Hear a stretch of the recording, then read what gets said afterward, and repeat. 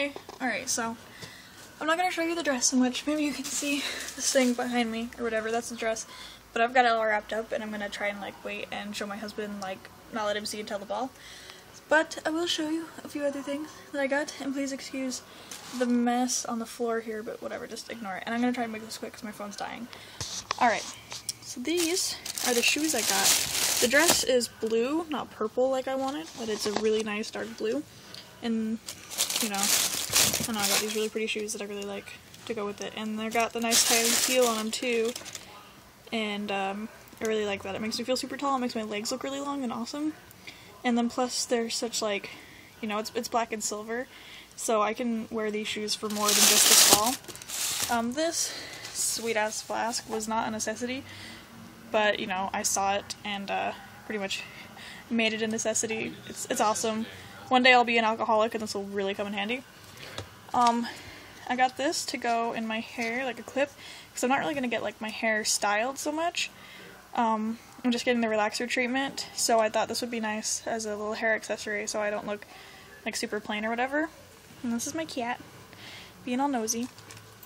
Alright, this is a super, super pretty necklace that I got because my dress is kind of like, it's got a really low neckline, and so this, so, you know, instead of having my chest be all blank and stuff, then I'll have this really nice necklace to have there, and then some earrings too, because I'm trying to get all jeweled up and look nice. And I've never really, like, bought, you know, jewelry and, like, shoes and dresses and accessories. Like, I spent so much money today, like, but I never spent this much money before on myself in my life all at once like this. So it's kind of a new experience, but you know, it's gonna be totally worth it.